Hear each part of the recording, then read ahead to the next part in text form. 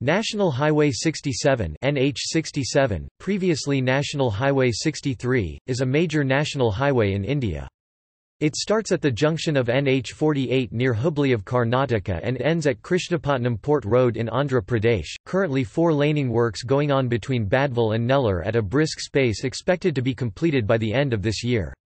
Four laning works between Jammalamadugu and Mydukur completed recently. NHAI called tenders for two-laning between Gutti and Tadipatri. Four-lane work is in progress between Hubballi and Hosapete, six-lane work between Hosapete and Bellary and four-lane work between Bellary and KAP border.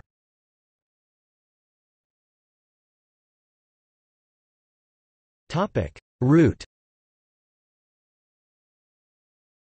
NH67 passes through the cities of Hubli, Gadag, Koppal, Hospet, Bellary in Karnataka and Guntakal, Gutti, Bugga, Kolamagundla, Jammalamadugu, Proddatur, Mydukur, Badvel, Maripadu, Nellore, Krishnapatnam Port Road of Andhra Pradesh. Route length in states Andhra Pradesh 395.89 km 245.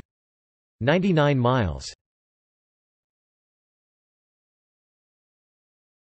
miles See also. List of national highways in India by highway number. National Highway 66 India